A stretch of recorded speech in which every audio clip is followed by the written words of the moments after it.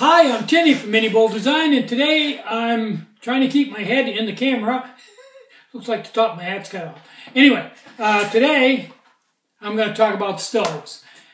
And I think a good place to start is with the choke hazard. So today I'm going to talk about the choke hazard and tell you everything about it that I know, and there's a lot of stuff that I've learned from other people. Okay, let's get started. Now, you can't see this that well because I'm too far away from the camera. So what I'm going to do is take the camera off my beautiful face and move it in here so all you can see is my hands in the stove. It'll be a lot better for you and you'll be able to see what I'm talking about. Okay, most people already know this, uh, but for you newbies and people who just haven't seen this at all, uh, this is a choke hazard. Uh, if you get one and has an R on it, it's the original, just a regular one. And if you get one with a T on it, it's uh, turbo. You can order either one in the store. Now, the difference between the two is that the original uh, has the fuel port, but it doesn't have the air vents on the top like the turbo does. And the difference there is that uh, this one will put out a moderate flame about right for probably baking or small pots. Uh, certainly work well with the QMH. And this one uh, gives quite a bit larger flame, is really too hot for baking, uh, and is good for probably a 10 centimeter pot. If you've got some time, even a 12 centimeter pot. So that's the difference between the two of them. Okay, now when you get these, uh, they'll come, I don't know you can see that or not, they'll come like this, and they'll also have two extra felts in the bag that comes with them. Take the felts out of the bag. And now when you get it, you take the hose out, which coils right up, and inside here there's two felts. The felts just go on the bottom, flat. And then this hose, uh, you see there's a hole here. You take the hose and twist it and push it a little bit until you get it into the hole.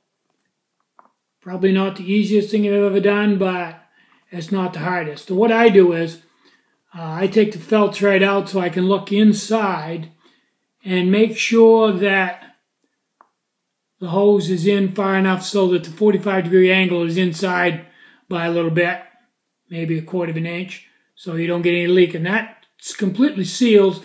The expansion of this hose completely seals this so it won't leak. Put the felts back in.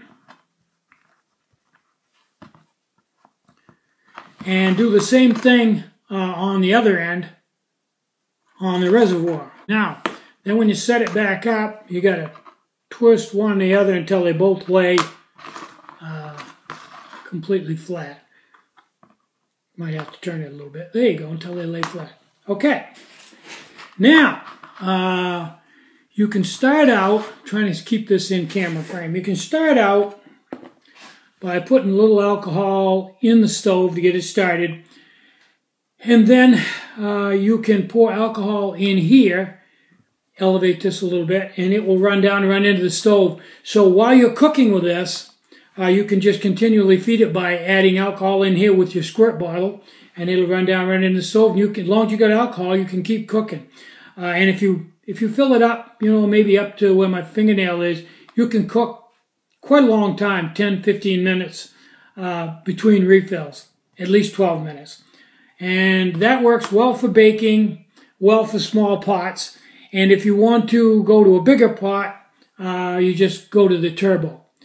Okay, that's the basics of the whole thing. And when you get done, you just pull your hose out on each end. Curl it in here like that. Tuck the end under, put the cap on, and that's your stove. Now, if you have a stove and you have any problem with it, you lose it or whatever, if you have one of these in your pack and you have the alcohol, uh, you can still cook. If you don't have a pot stand, you can use some rocks. Try to get this so it doesn't block the camera too bad. You can use some rock for a pot stand, uh, you know, whatever. It's, it's, it's a real good emergency stove just to carry in your pack. Uh, if you get out, caught out somewhere and need to heat up some water to, uh, in the evening. Uh, and certainly is compact. Okay, let me show you the finer point to this. I'm going to use the turbo this time because I've used the other one. Okay. Put this all back together. Okay, you can use this uh, in this configuration and fuel it from out here. And uh, this is the turbo work 12 centimeter pot. It'll still work with it's hot enough. Now, if you have just a turbo and you want to decrease the heat, you want to bake or something, uh, there's a couple of ways to do that. One,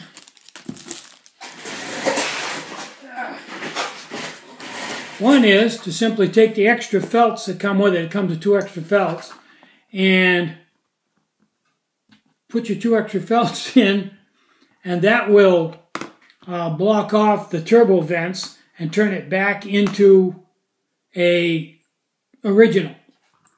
The other way which is a little less linear and will give you even less heat, hit the two felts in the reserve and use the reserve as the cooking part of it, like this, and use the stove as the reserve. And just pour your fuel in and feed it that way. So, uh, that's basically everything there is to know about the uh, choke hazard. Not real complicated, not real big, uh, fairly hot. But I think to finish this out, I probably ought to fire up each one and let you see the flame pattern on it uh, with the lights turned out. So let's do that next. Okay, there's the flame pattern on the turbo. Uh, this will work just fine with a 12 centimeter pot. This is, this is, you can see this is fairly hot. This is, for the size of it, amazingly hot. Now I'll show you what it looks like uh, using the original without the uh, turbo vents in it. Okay, here's the original uh, choke hazard uh, without the turbo vents in it. And you can see it's a modest flame, uh, not a crazy hot stove, almost perfect for baking. So you can just while you're baking, you can just uh, add fuel uh, right here. And it will run down the hose and refuel the stove. And you can bake uh, as long as you have alcohol. Probably have to fill it every 10 12 minutes.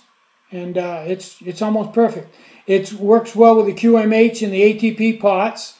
Uh, not really hot enough for anything bigger than a 10 centimeter. I mean, you could if you wanted to, but if I was going to do that, I would go with the, uh, if I was going to go with anything bigger than 10 centimeter, I would go with the turbo.